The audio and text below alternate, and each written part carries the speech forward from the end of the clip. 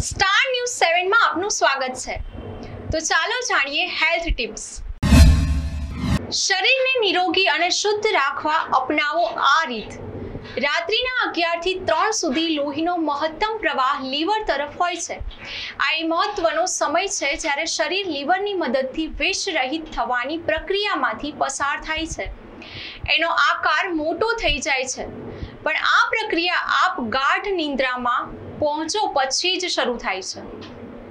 તમે અગિયાર વાગે ગાઢ નિંદ્રાની અવસ્થામાં પહોંચો પછી જ આ પ્રક્રિયા શરૂ થાય છે અને શરીરને પૂરા ચાર કલાક મળે વિષ મુક્ત થવા માટે. હવે તમે જો બાર વાગે ગાઢ નિંદ્રાની અવસ્થામાં પહોંચો તો તમારા શરીરને ત્રણ કલાક જ મળે. જો એક વાગે ગાઢ નિંદ્રાની અવસ્થામાં પહોંચો તો તમારા શરીરને બે કલાક જ મળે. અને જો બે વાગે ગાઢ નિંદ્રાની અવસ્થામાં પહોંચો તો તમારા શરીરને એક કલાક જ મળે. જ્યાં ચાર કલાકની તાતી જરૂર હોય ત્યાં ઓછા કલાક મળવાથી વિષ મુક્તિનું કાર્ય સંપૂર્ણ રીતે ના થઈ શકે અને શરીર વિષયુક્ત રોગોનું ઘર થતું જાય. થોડું વિચારો જ્યારે પણ તમે મોડી રાત સુધી જાગ્યા હો, ત્યારે તમે ગમે તેટલા ઊંઘો. તમને પોતાની કાયા બીજે દિવસે થાકેલી જ લાગશે. શરીરને વિષમુક્ત થવા પૂરતો સમય ના આપીને શરીરે બીજી અનેક ક્રિયાઓમાં તમે અજાણતા જ અવરોધ ઉત્પન્ન કરો છો. બાહ્ય મુહૂર્ત એટલે કે સવારે ત્રણથી પાંચના સમયમાં લોહીનું સંચરણ ફેફસા તરફ થતું હોય છે, જે અત્યંત જરૂરી ક્રિયાનું સ્થાન છે.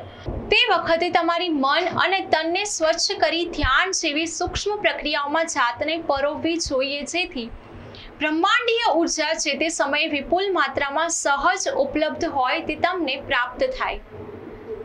તે પછી ખુલ્લી હવામાં વ્યાયામ કરવો જોઈએ. હવામાં આ સમયે લાભપ્રદ, આયનની માત્રા ખૂબ જ વધારે હોય છે. પાંચથી સાત શુદ્ધ થયેલા રક્તનો સંચાર તમારા મોટા આંતરડા તરફ હોય છે, જે પાછલો મળ કાઢવાની પ્રક્રિયામાં સક્રિય ભાગ લે છે અને શરીરને આખા દિવસ દરમિયાન લેવાતા પોષક તત્વો ગ્રહણ કરવા માટે તૈયાર કરે છે. પછી સૂર્યોદયના સમયે સાતથી નવ દરમિયાન શુદ્ધ રક્ત સ્વચ્છ શરીરના પેટ અને આમાશય તરફ વહે છે. આ સમય છે જ્યારે પૌષ્ટિક નાસ્તો એટલે શિરામણ. આરોગવો જોઈએ. તમારા દિવસનો તે સૌથી જરૂરી આહાર છે. સવારે પૌષ્ટિક નાસ્તો ન કરતા લોકોને ભવિષ્યમાં ઘણી બધી આરોગ્યલક્ષી સમસ્યાનો સામનો કરવો પડે છે. આ કુદરતે તમારા શરીર માટે બનાવેલી આરોગ્ય ઘડિયાળ છે એને અનુસ્વરવાથી ચિતા સુધી ચાલતા જઈ શકાય છે. હવે તમે પૂછશો કે ક્યારેક કોઈ કાર્ય મોડી રાત સુધી કરવું પડશે તો શું કરવાનું? હું તો વિનંતી કરીશ કે કામ જલ્દી સૂઈને વહેલા ઉઠીને ન કરી શકાય. બસ તમારા મોડી રાતના કાર્યોને વહેલા ઉઠીને કરવાની આદત પાડો.